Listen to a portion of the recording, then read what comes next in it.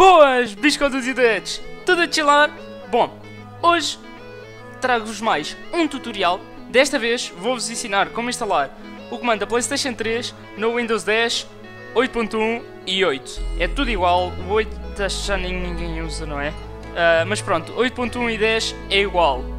Bom, primeiro, muito importante, uh, vocês têm de vir aqui Uh, ou no Windows 8 vem aqui acima, o 8.1 vem aqui acima e pesquisam, não é? E pesquisam por opções. Uh, ok. Opções de recuperação. Pimba, enter. Ok, vão aqui a recuperação e metem reiniciar agora. Eu não posso fazer isso, não é? Como podem imaginar, depois isto para de gravar. A seguir, isto é muito fácil. A seguir vai-vos aparecer, o PC vai reiniciar e vai-vos aparecer eh, um ecrã azul com várias opções. Em primeiro lugar, vão à opção que diz Resolução de Problemas. Em seguida, vão a Opções Avançadas. E por fim, a Definições de Arranque. Isto porque Windows 10, o 8.1 e o 8 têm uma coisa que é o Drive Signature. Isto é, é o que, se, se não me engano? Por exemplo, vocês estão a instalar as drives da vossa placa gráfica e é uma NVIDIA, o computador, o próprio Windows, consegue ver que a assinatura dessa drive é dada pela NVIDIA, ou seja, é uma marca uh, registada e de confiança. Porém, vocês vão ter de instalar aqui umas drives e essas drives não têm essa tal marca, então o Windows bloqueia logo. Então, daí vão a definições de arranque e em definições de arranque metem reiniciar. Quando metem reiniciar vai-vos aparecer uma série de opções e para escolher essas opções vai ter de ser nos Fs, F1, F2, etc.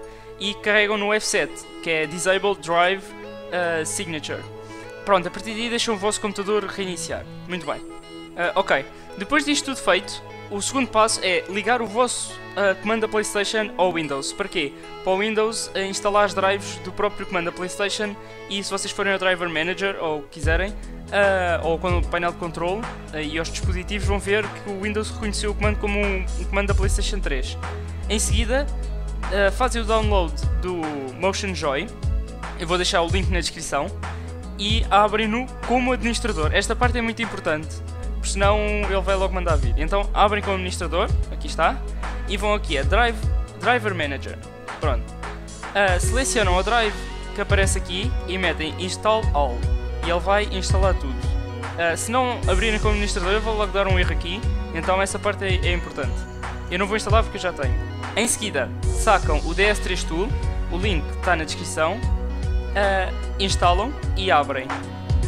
Quando abrem, uh, já vos deve de aparecer o vosso comando, como está aqui a aparecer com o meu, com o meu já está ligado. E o que vocês têm de fazer é, vão a New e criam um novo perfil. Eu aconselho em porem o X-Input, porque assim o vosso computador vai ver o comando como um comando da Xbox. Pronto. Ah, e em seguida é boa fácil. Vem aqui autofill Xbox 360, é o que diz. Pimba, está feito. Dão um nome, o nome que quiserem. Uh, cocó. Mijado. Cocó com xixi. e save profile. E pronto, está aqui. Vão ao cocó mijado e metem apply. Ao dar apply, entram no jogo que quiserem e o comando está a funcionar. De certeza absoluta. Para mim funcionou. Se não der, escrevam aí nos comentários porque é que não dá. Digam-me uh, o que é que fizeram e vejam que não erraram nenhum passo. Se seguirem estes passos todos à risca, vai dar certeza absoluta. Dois avisos. O primeiro é, se tiverem a Playstation ao lado e vão a desligar o, o comando da, do PC, a Playstation vai se ligar. Por isso, sempre deixarem de usar o comando, vão aqui pima, disconnect, vem e ele desapareceu logo. O segundo aviso é, se desligarem o PC com o comando ligado e voltarem a ligar, ele vai-vos dar um blue screen. Vocês não paniquem, não fiquem Ui, blue screen agora! Não, não vale a pena. Não vale. Aqui o Biscoman, o Biscoman um, basta só desligar o comando do PC e o blue screen, entretanto, agora no Windows 10 até diz está a pensar, faz uma porcentagemzinha. Nessa altura desliga o comando do PC e aquilo vai abrir o Windows normalmente. Por isso, os dois conselhos que eu dou é, no final de jogarem, deem disconnect e deem unplug, uh, ou seja, desliguem uh, o comando do PC. E pronto, assim já não tem problemas, têm o vosso comando da PS3 uh, no PC e vão jogar awesome games e vão fazer awesome cenas nesses games e jogos e o que quiserem. Bom, espero que este tutorial tenha sido útil. Se tiverem dúvidas sobre mais alguma coisa, deixem nos comentários que eu vou tentar, se eu souber, explico logo, faço um vídeo tudo. Uh, se não souber, vou à procura. Se tiverem dúvidas em relação a este vídeo, deixem nos comentários também que eu vou tentar explicar-vos com todo o gosto. Espero que tenham gostado. Gostem, subscrevam, partilhem e essa coisa toda que vocês já sabem. E see ya!